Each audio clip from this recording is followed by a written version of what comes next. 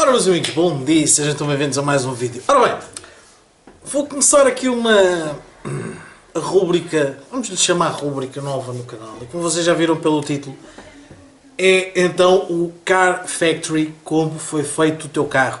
Opa, e é um, um vídeo, uh, faz parte de um conjunto de vídeos que as marcas lançam que eu gosto bastante de ver, que é o processo de fabrico dos carros, a vista das fábricas, como é a linha de montagem, como é que é feito, como é que não é feito. E portanto, eu lembrei-me, se eu gosto de ver, vocês provavelmente também. E então resolvi começar a trazer esses vídeos então aqui ao canal. Vou tentar que todas as quartas-feiras hum, traga aqui um modelo novo. Portanto, aqui ao Car Factory, descobre como foi feito o teu carro. Bom, hoje, e para começar, nada melhor então começar pelo meu entre aspas, pelo meu carro, pelo Dacia Sandero versão 2017.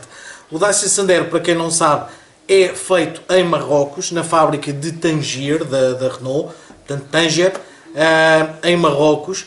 É feito a meias com a Dacia Logi, portanto são feitos os dois lá.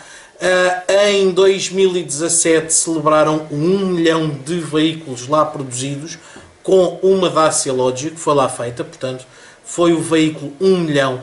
É uma fábrica que ainda está a ir, a ir crescendo. Eles fizeram em 2017, tinham produzido no total 474.840 Sanderos, 320.078 Dockers e 193.181 Logi. Perdão.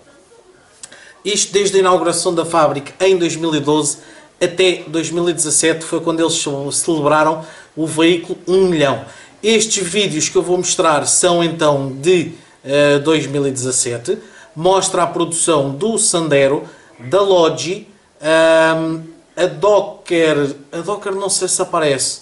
Sou sincero, a Docker não sei se aparece, mas pronto.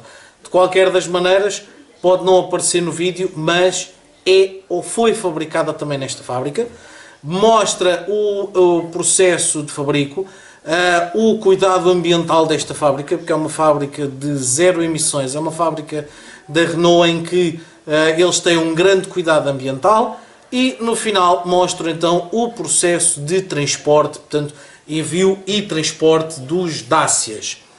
Só por curiosidade, há uma outra fábrica a fabricar também o Sandero, salvo erro no leste, eh, para Polónia, Roménia ou algo assim, que é de onde saem os Dacia que são vendidos, por exemplo, no Reino Unido.